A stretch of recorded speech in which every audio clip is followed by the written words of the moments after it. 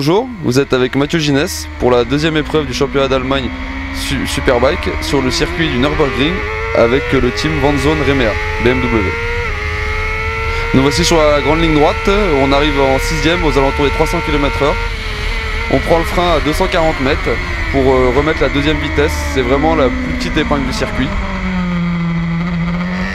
Axel, on passe la 3, on arrive dans la gauche assez bosselée, qui est vraiment pas évident euh, sur l'entrée.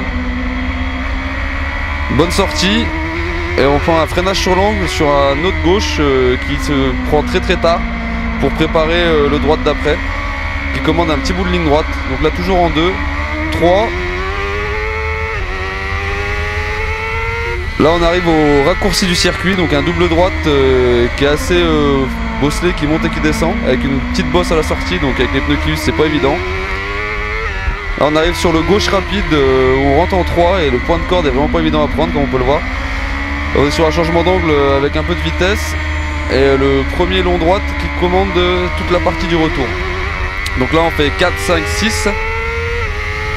On rend à peine les gaz dans la cassure et on remet à fond. C'est un virage très rapide aux alentours de 250 km/h. Et là on arrive au frein de la chicane euh, avant le dernier droite de, l'arrivée. Donc chicane assez rapide, changement d'angle énergique.